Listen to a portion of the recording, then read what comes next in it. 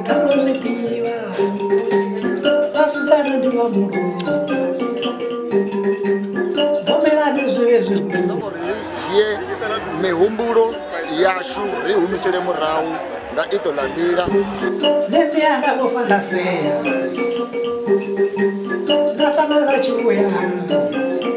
a documentary which is uh, made up of scenes